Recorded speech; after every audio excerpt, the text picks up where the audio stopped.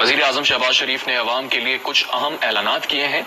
इन ऐलान से मुतल पी टी आई का किला समझे जाने वाले सूबा खैबर पख्तूनख्वा के अवाम क्या कहते हैं?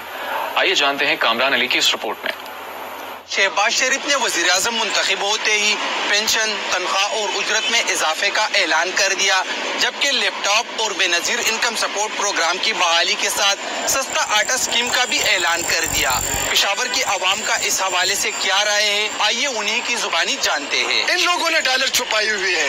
इन लोगों ने गोदामे भरी भरा के जो है ना, आवाम से अपनी चीज़ें जो है चुरा के आवाम को सख्ती से उसको सामना कर रहे और ये इसकी हुकूमत आ गई, सारी चीज़ें डॉलर भी अब जो है ना हुकूमत में आ गई और सारी चीज़ें जो है ना कोटे जो है ना भरे हुए थे अब ये निकाल के जो है आवाम को रिलीफ दे रहे हैं। एक आम आदमी के लिए भी एक मजदूर कार के लिए भी और एक जो है सरकारी नौकर जो है नौकर पेशा अपराध उनके लिए भी। ऐलान बहुत अच्छा है।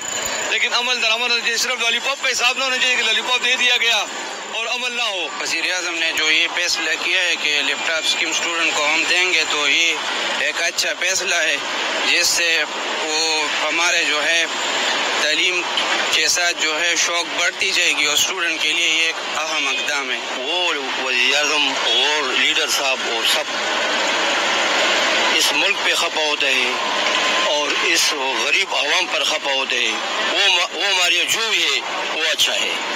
अगर इस मुल्क पे खपा नहीं होता है, इस महँगाई पर खपा नहीं होते गरीब आवाम पर खपा नहीं होते, वो किस तरह लीडर हो सकते हैं? आवाम का कहना है कि इन ऐलान पर अब अमल दरामद को फौरी यकीनी बनाना भी नागुजीर है। कैमरा मैन मुनिबुल के साथ कामरान अली, आज न्यूज़ पिशावर।